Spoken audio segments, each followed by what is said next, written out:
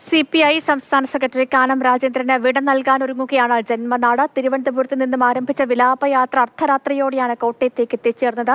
രാവിലെ പതിനൊന്ന് മണിക്ക് കാനത്തെ വീട്ടുവളപ്പിലാണ് സംസ്കാര ചടങ്ങുകൾ ആരംഭിക്കുക.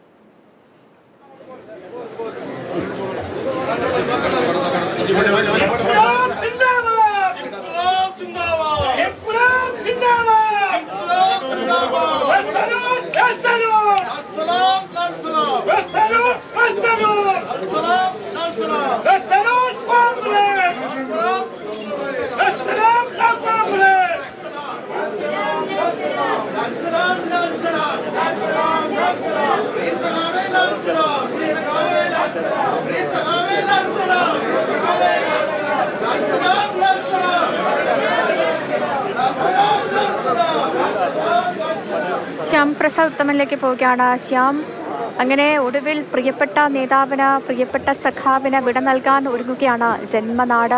കഴിഞ്ഞ ദിവസങ്ങളിൽ വിലാപയാത്രയിൽ അടക്കം നമ്മൾ കണ്ടതും അതുതന്നെയായിരുന്നു തങ്ങളുടെ പ്രിയപ്പെട്ട നേതാവിനെ അവസാനമായി ഒരു നോക്ക് കാണാൻ. ഈ പ്രവർത്തകരുടെയും നേതാക്കളുടെയും ഒക്കെ സാധാരണക്കാരുടെ അടക്കം കുത്തൊഴുക്കാണ് നമ്മൾ കണ്ടത്.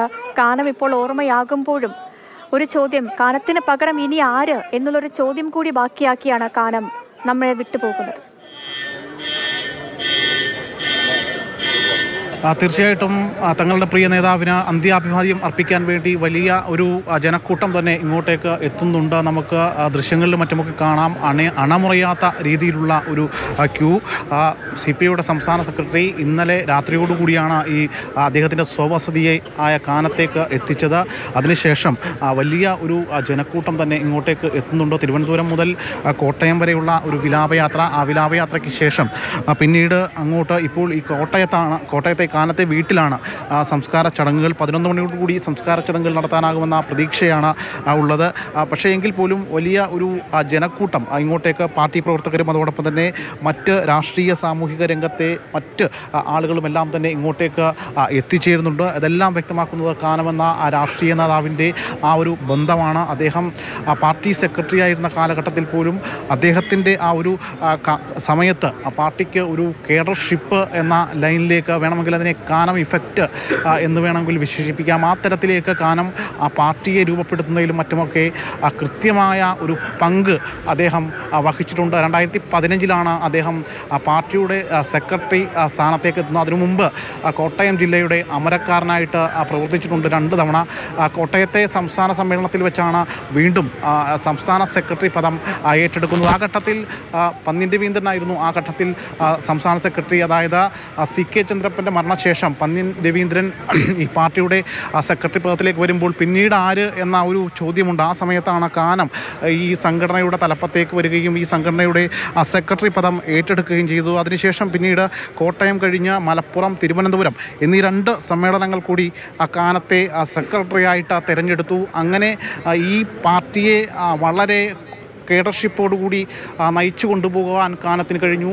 ആ ഘട്ടത്തിൽ പോലും അതായത് ഈ രക്തത്തിൽ പഞ്ചസാരയുടെ അളവ് കൂടി കാൽ മുറിച്ചു മാറ്റപ്പെടുമ്പോൾ പോലും തിരികെ വരുമെന്ന ഒരു പ്രതീക്ഷ ആ ഘട്ടത്തിൽ അദ്ദേഹത്തിനുണ്ടായിരുന്നു. ആ കൃത്രിമക്കാൽ വെച്ചാണെങ്കിലും താൻ ഈ പാർട്ടിയെ നയിക്കും. അപ്പോഴും പറയുമായിരുന്നു പാർട്ടിക്ക് ഇനി ഒരു അമരക്കാരൻ എന്ന തരത്തിലേക്ക് മറ്റ് ചർച്ചകളും മറ്റും ഒന്നും വേണ്ട. ഈ ഞാൻ തന്നെ മുന്നോട്ട് കൊണ്ടുപോകും. ഈ സമ്മേളന കാലയളവ് വരെയും എന്ന ഒരു പ്രതീക്ഷ അദ്ദേഹത്തിനുണ്ടായിരുന്നു. ആ ഘട്ടത്തിലാണ് പെട്ടെന്ന് അദ്ദേഹത്തിന്റെ മരണം.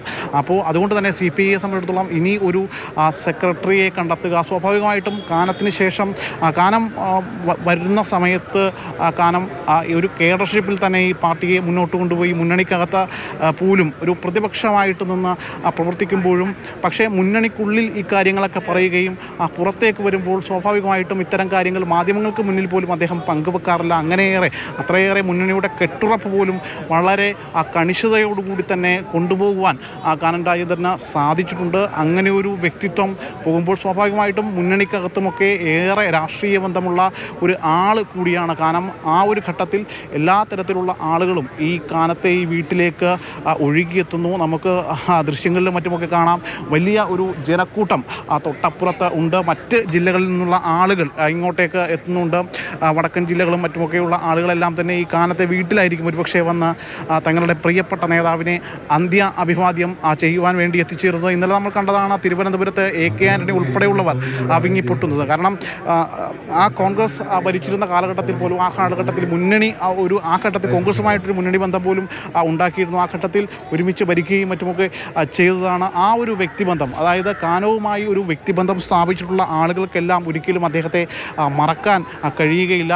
അങ്ങനെ ഒരു വ്യക്തിപ്രഭാവം കൂടി അദ്ദേഹം തന്റെ ഇടങ്ങളിൽ കാണിച്ചിരുന്നു. പാർട്ടിക്കകത്ത് പാർട്ടി കമ്മിറ്റികളിൽ ശക്തമായ നിലപാടുകൾ എടുക്കുമ്പോൾ പോലും ആ പാർട്ടി കമ്മിറ്റികളും മറ്റും കഴിഞ്ഞു കഴിഞ്ഞാൽ ആ വ്യക്തികളെ വ്യ- വ്യക്തിപരമായിട്ട് വളരെയേറെ സ്നേഹത്തോടെയും വാത്സല്യത്തോടെയും കണ്ടിരുന്നു. അങ്ങനെ വളർത്തിക്കൊണ്ടുവരുന്ന ഒരുപറ്റം ആളുകളെ അദ്ദേഹം ഇതിന്റെ കേഡർഷിപ്പിലേക്ക് കൊണ്ടുവന്നു. നാം കണ്ടതാണ് ആദ്യഘട്ടത്തിൽ ആദ്യ മന്ത്രിസഭയിലെ നാല് മന്ത്രിമാരെയും ഓർമ്മകളാണ്. കാനത്തിന് ഈ മുന്നണി സംവിധാനങ്ങൾക്കപ്പുറം എല്ലാ നേതാക്കളുമായും വലിയ തരത്തിലുള്ള വ്യക്തിബന്ധം അടക്കം വച്ച് സൂക്ഷിച്ച ഒരു നേതാവ് തന്നെയായിരുന്നു കാനം രാജേന്ദ്രൻ.